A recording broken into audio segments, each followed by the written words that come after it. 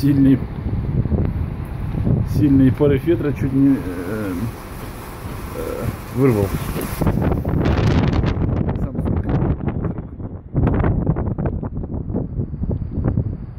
Причем из рук туда, за балкон.